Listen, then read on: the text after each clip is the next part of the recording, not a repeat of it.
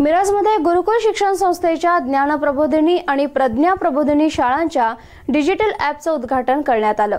विद्यार्थ्यांचं शैक्षणिक नुकसान होऊ न देण्याचा या संस्थेचा निर्धार यातून दिसून येतोय.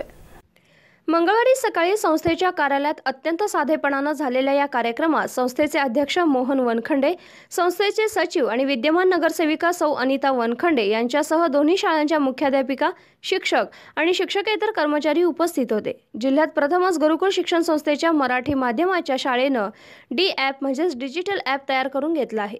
संस्थेच्या ज्ञानप्रबोधिनी आणि प्रज्ञा प्रबोधिनी या शाळांमधील इयत्ता पाचवी ते आठवीमध्ये शिक्षण घेणाऱ्या विद्यार्थ्यांसाठी हे ॲप बनवण्यात आले प्ले स्टोअरवरून हे ॲप डाउनलोड करून घेता येतं. शाळेच्या विद्यार्थ्यांना संस्थेने हे ॲप मोफत दिलं आहे. या ॲपच्या माध्यमातून सुमारे चारशे विद्यार्थी नियमित शिक्षण घेऊ शकणार आहेत. प्रत्येक विषयाचा अभ्यासक्रम चाचणी प्रश्नसंच अध्ययन अध्यापन शंका निरसन अशा अनेक वैशिष्ट्यांचा यामध्ये समावेश आहे. आपल्या वेळेनुसार विद्यार्थी ॲपच्या माध्यमातून नियमित अभ्यास करू शकणार आहेत. त्यांची शैक्षणिक प्रगती शिक्षकांना पाहता येणार आहे. या कोरोना आपत्तीमध्ये ॲपमुळं विद्यार्थ्यांचे शैक्षणिक नुकसान होणार नाही याची काळजी गुरुकुल शिक्षण संस्थेनं घेतली आहे. याचं कौतुक प्रांत अधिकारी समीर शिंगटे यांनी केलं आहे.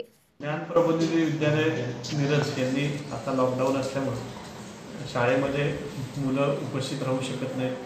त्याचबरोबर झूम ॲपद्वारे जे ऑनलाईन क्लासेस सुरू आहेत त्याच्यामध्ये येणाऱ्या अडचणी आहेत याच्यावर मात करण्यासाठी एक ॲप स्वतःचं ॲप डेव्हलप केलेलं आहे. त्याचं आज इनॉग्रेशन झालेलं आहे. तर ते ॲप हे वेगळ्या स्वरूपाचं आहे आणि मला वाटतं मिरजमध्ये पहिल्यांदाच त्यांच्या शाळेनं ते डेव्हलप केलेलं आहे. त्याच्यामध्ये ते मुलांपर्यंत म्हणजे आत्ताच्या झूम ऑनलाईनची याच्यामध्ये ॲप किंवा व्हिडिओ कॉन्फरन्सिंगमध्ये अडचणी येत होत्या. की मोबाईल उपलब्ध नसते किंवा म्हणजे बाकीच्या अडचणी. तर त्याच्यावर त्या ॲपमुळं तोडगा निघणार आहे. आणि शंभर टक्के मुलं जरी मोबाईल नंतर त्याच्या पालक घरी आले तर त्याच्या आधारे त्याचं म्हणजे ते जे काही शिकवलेलं आहे ते व्हिडिओच्या माध्यमातून बघू शकतील. आणि त्याच्यात असाइनमेंट्स पण लोड करायची सोय आहे.